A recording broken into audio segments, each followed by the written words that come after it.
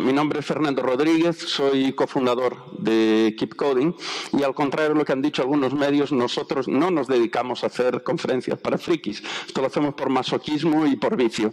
Somos una empresa de formación para desarrolladores con sede aquí en, Madrid y en California y nuestros principales productos son los bootcamps de unos 10 meses de, duración.